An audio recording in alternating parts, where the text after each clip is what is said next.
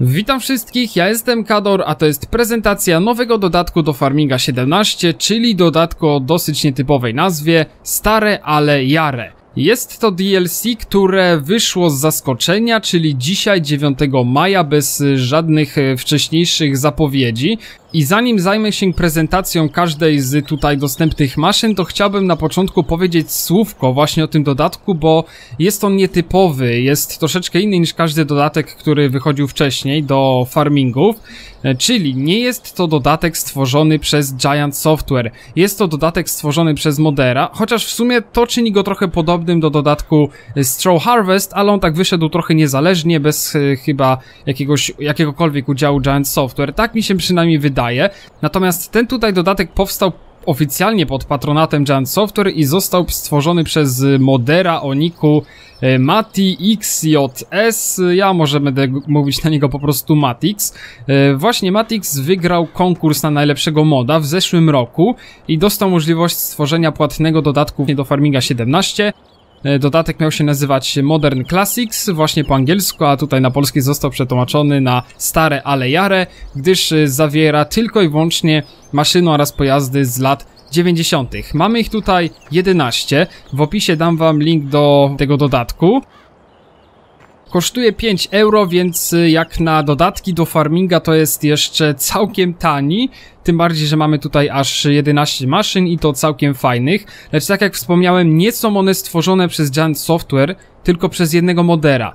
Aczkolwiek trochę już je sprawdziłem i muszę powiedzieć, że wcale nie odstają jakością, zresztą zaraz to zobaczycie. Zaczniemy standardowo od y, ciągników może, więc y, tutaj mamy Massey Fergusona, ogólnie te nasze ciągniki mamy trzy i nie są jakieś, y, nie są jakieś super potężne, ale są naprawdę całkiem fajne. No więc tutaj mamy Massey Fergusona.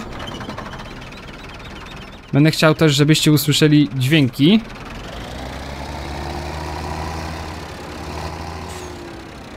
Wydaje mi się, że... Wydaje mi się, że dźwięki to po prostu autor moda wziął od y, ciągników, które są oryginalnie w farmingu, za wyjątkiem tego dźwięku na wolnych obrotach. Ten być może został i nagrany przez niego, bo nie przypominam sobie, żeby jakiś ciągnik tak właśnie brzmiał, oryginalny w 17. No i zobaczcie jak on wygląda, no czy to na zewnątrz, wystarczy się przypatrzeć, czy to w środku. Jak dla mnie wygląda naprawdę bardzo ładnie. Praktycznie w ogóle nie widać, że nie jest to ciągnik stworzony przez Giant Software, tylko przez, mod przez modera, bo naprawdę jakość wykonania stoi tutaj na bardzo, ale to bardzo wysokim poziomie i trzeba by się przypatrzeć, żeby zobaczyć, że no jednak nie jest to aż taki idealny ciągnik, jakie to z reguły robi Giant Software. No może nie idealny, ale po prostu to za duże słowo, ale po prostu no bardzo ładne. Tutaj kolejny ciągnik, czyli ciągnik marki Case. Ja później w sklepie wam pokażę te maszyny, bo nie pamiętam ile każda z tych, ile każdy ciągnik ma na przykład mocy i tak dalej. Później to wam w sklepie pokażę. Case oczywiście też bardzo ładnie wykonany, zwłaszcza w środku mi się jakoś tak bardzo podoba jego wygląd. Co do dźwięków, to ma dźwięki jak Zetor z dodatku Gold do Farminga. Ten stary Zetor, który był w dodatku Gold do Farminga 15, tak, mi się wydaje, że pod względem, dźwięku, pod względem dźwięku to właśnie dokładnie tak brzmi. Ale nie, no, jeżeli chodzi o wykonanie, to naprawdę duży plus, bo prawie w ogóle nie widać, że jest to moc stworzony przez Giant Software. Dobra, jedziemy dalej. Został jeszcze ostatni ciągnik, czyli JCB. Również bardzo ładnie w środku wykonany. Został jeszcze kombajn oraz ładowarka teleskopowa, jeżeli chodzi o pojazdy.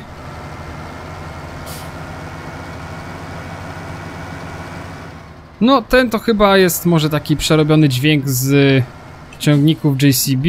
No nie no, w sumie nie chodzi o to, że ja się czepiam do tych dźwięków, tylko tak po prostu e, chcia chciałem sobie też posłuchać, jak one brzmią.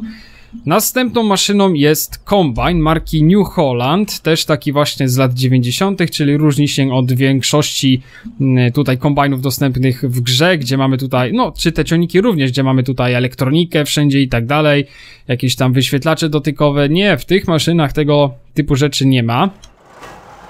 Kombajn ten nie jest duży, bardziej na początek rozgrywki. Nie pamiętam ile ma header, ponad 4 metry chyba, ale to sobie później w sklepie zobaczymy.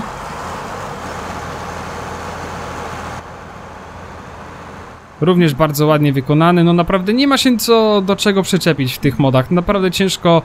em, y, powiem tak, gdyby to zrobiło Giant Software i gdyby nie zostało powiedziane, że to stworzył moder sam, to nie wiem, czy bym był w stanie zobaczyć, wiecie, jak, czy, był, czy byłbym w stanie do czegoś się przyczepić, że- jeżeli chodzi o jakość wykonania, bo no naprawdę musiałbym być bardzo czepialski, czepiać się jakiejś takiej małej teksturki, ale nie, tutaj nie czepiam się do niczego, te maszyny zostały naprawdę wykonane bardzo dobrze, więc to tyle jeżeli chodzi o kombajn, została tutaj jeszcze o właśnie taka ładowareczka mała, również marki JCB, ona jest y, taka dość ciekawa, tylko zauważyłem u niej jeden taki poważny minus, przynajmniej dla mnie, czyli jej prędkość maksymalna, czyli tylko 19, 19-20 km na godzinę. Strasznie jest wolna, ale jest fajna, ma całkiem dużo moc, zobaczmy. No całkiem długo można to wyciągnąć, ale nie tak jak w ładowarkach teleskopowych, na przykład w tej Manitu. No ale taka fajna ładowareczka do ładowania jakichś bel czy kiszonki. Jak chcemy tworzyć pasze dla krów czy coś, no całkiem spoko. Czas na dalszą część pokazu i tutaj mamy jedyną rzecz w dodatku, która nie jest licencjonowana, czyli właśnie ta tutaj przyczepa.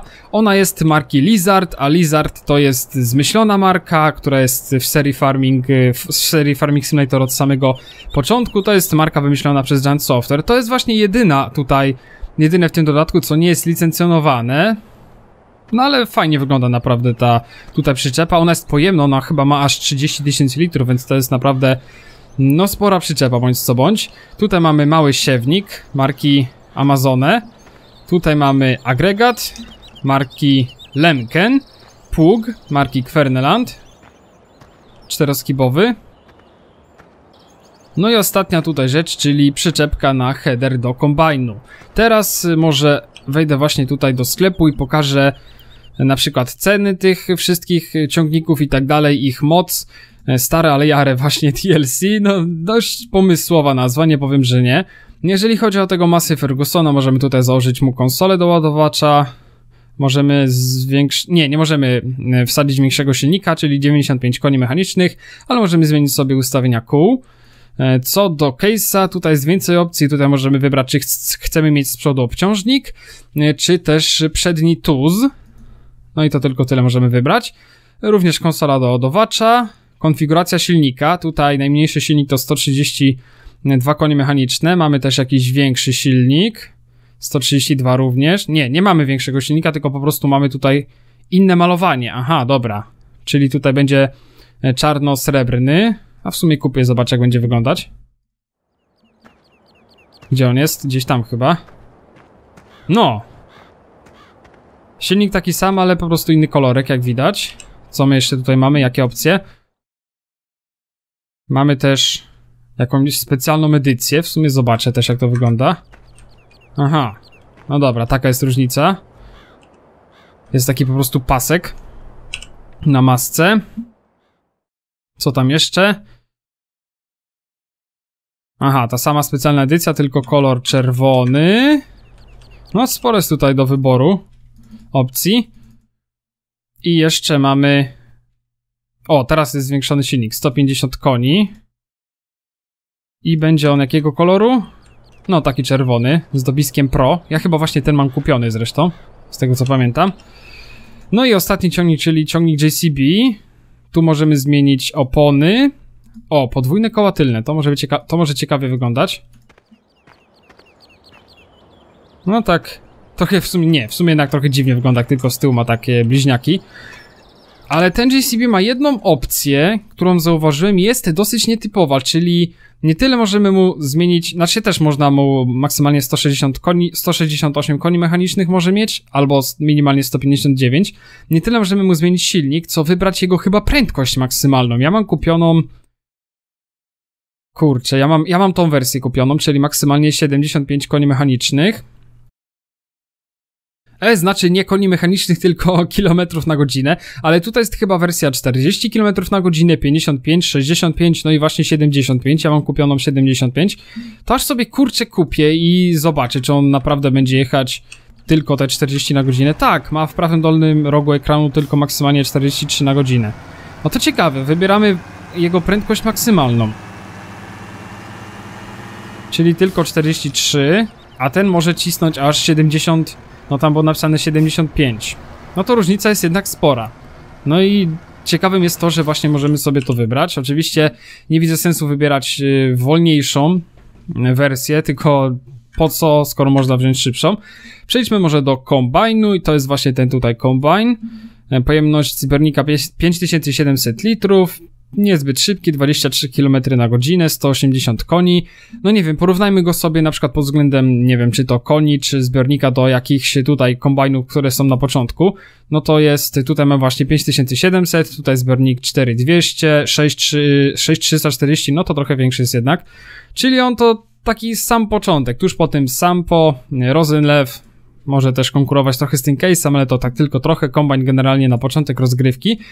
E, co do headeru, no to szerokość, tak, 4,3 metra, czyli porównując do tych tutaj 4,3, 4,2, no to właśnie taki kombajn to jest stosunkowo mały na jakieś mniejsze pola lub też na początek rozgrywki. No to teraz przyczepa, ona miała, tak, 30 tysięcy litrów, jest naprawdę całkiem spora, tylko jed, jako jedyna nie jest licencjonowana, szkoda. Co jeszcze? Pług.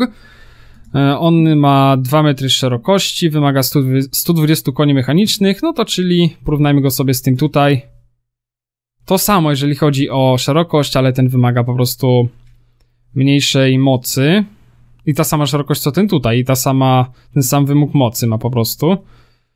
Dobra, co jeszcze zostało? Kultywator, właściwie jeden tutaj agregat, 2,6 metra, 90 koni, czyli bardzo mały, chyba najmniejszy w grze. Ten ma 3 metry no to to jest najmniejszy agregat, jeżeli chodzi o jakieś oryginalne maszyny, czy też dodatki w farmingu 17.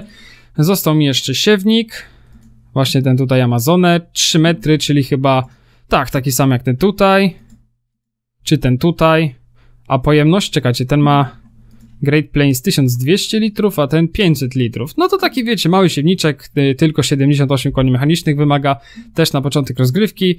E, a, jeszcze ta no, przyczepka oczywiście tutaj jest na ten header do, e, do, do, do kombajnu i jeszcze ładowarka teleskopowa. O ta tutaj 64 tysiące euro. 141 e, koni mechanicznych ma, porównajmy sobie, czyli więcej niż ta, tyle samo co ta i odrobinkę mniej niż ta tutaj, ale to co tą tutaj wyróżnia, no to właśnie ta prędkość jazdy, tylko 20 km na godzinę, niestety. Okay, myślę, że to wszystko w tej prezentacji właśnie jest o tyle ten dodatek nietypowy, jak wspominałem, przez to, że nie, jest, nie został stworzony przez Giant Software, tylko przez modera, przez zwycięzcę zeszłorocznego konkursu na najlepsze mody. Myślę, że za 11 maszyn i to w tak dobrej jakości ktoś może pomyśleć, że e, to nie są maszyny zrobione przez Giant Software, no to to nie, bo brzydkie czy coś. No nie, no zobaczcie jak to wygląda, naprawdę to wygląda kurczę bardzo ładnie, nie mogę się do niczego przyczepić, więc jeżeli chodzi o 5 euro za 11 maszyn, to generalnie jest to chyba bardziej, jednak bardziej jeden z najbardziej opłacalnych dodatków do Farminga 17 czy nawet 15. Do 15 wyszła jedna sieczkarnia z trzema przysta przystawkami za 5 euro, tutaj mamy 11 maszyn, więc jest to dodatek całkiem opłacalny. Szkoda, że nie wyszedł wcześniej i że nie, nie ma go na przykład w... E, kurczę, jak to się nazywało? W tym zbiorczym wydaniu wszystkich dodatków, które wyszło jakiś czas temu, szkoda, że właśnie nie wyszedł wcześniej i do tego zbiorczego wydania nie trafił, tylko trzeba kupować oddzielnie. No ale całkiem spoko, raczej ja, dodatek całkiem spoko, raczej nie znajdę dla niego zastosowania w odcinkach z serii pierwszej, z no chyba oczywistych powodów, bo mam tam o wiele lepsze maszyny, czy nawet w serii trzeciej. Szkoda, że on nie wyszedł właśnie wcześniej, to bym serię trzecią zaczął może na tych maszynach, ale no niestety nie wyszedł wcześniej. W serii drugiej gram na, teraz na polskich modach, więc też raczej z tych maszyn nie skorzystam. No ale kto wie w przyszłości, nie wiadomo. Być może skorzystam z nich tylko i wyłącznie na odcinku, bo prywatnie tam mogę sobie pogrywać, ale na odcinku być może skorzystam właśnie z nich tylko teraz, w tej tutaj prezentacji. Okay, więc y, tak jak wspomniałem wcześniej, w tej prezentacji to już wszystko. Jeżeli wam się ten odcinek podobał, to oczywiście dajcie łapkę w górę. Dzięki za oglądanie. Cześć!